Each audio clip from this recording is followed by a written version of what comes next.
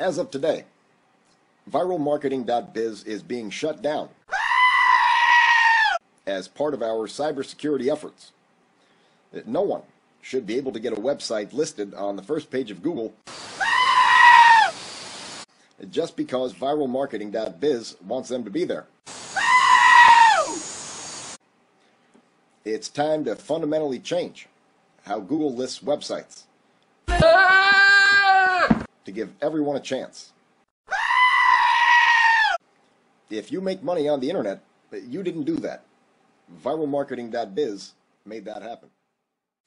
Yeah.